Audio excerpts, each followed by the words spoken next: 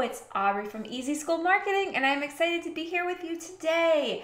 We're going to talk about something that I know you're going to want to hear about, and that is three bad habits that you need to kick in 2020. Why is this important? Because 2020 is amazing. Haven't we been looking forward to it for decades? This is going to be our best year yet. So, this these habits though could be holding you back from reaching your goals and truly taking your school to the next level. So, without further ado, let's get started. So, what's one of the first habits that you need to kick? That would be guess it. It is not tackling your three main things that you need to get done during the day before checking your social media and email. Now I'm so completely guilty of this. Over winter break, I fell into this horrible habit of checking my email and responding to things on social media before I had accomplished my three tasks for the day. Now, many of you have heard the expression like eat the frog in the first thing in the morning. Like take care of your most difficult task first thing in the morning and then your day kind of flows perfectly because you've knocked out the thing you've been dreading.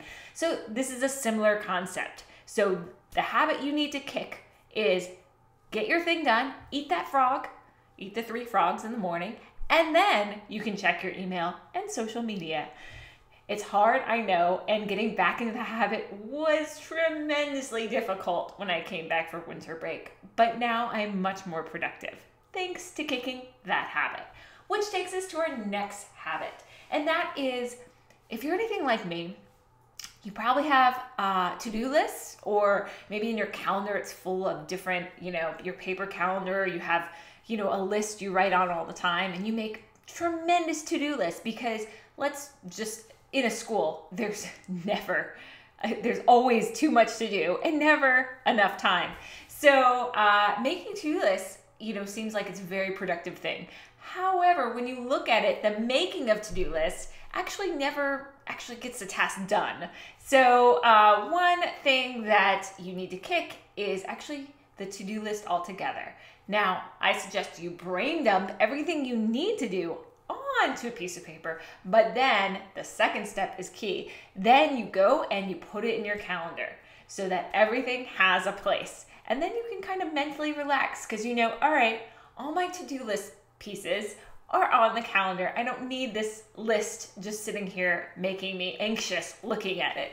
Uh, so that's a habit to kick. Kick the to do list habit, start the calendaring habit.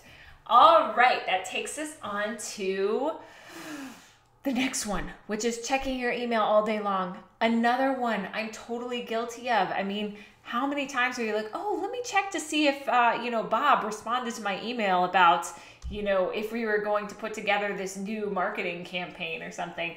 And unfortunately, that just takes our brains away from the task at hand.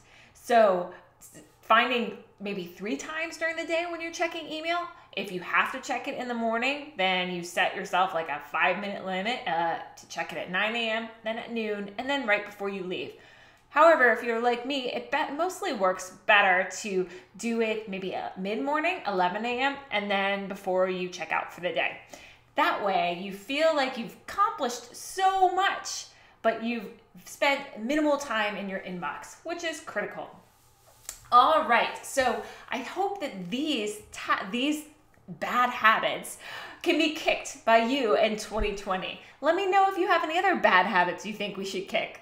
I look forward to hearing from you. Connect with me on LinkedIn. Take care.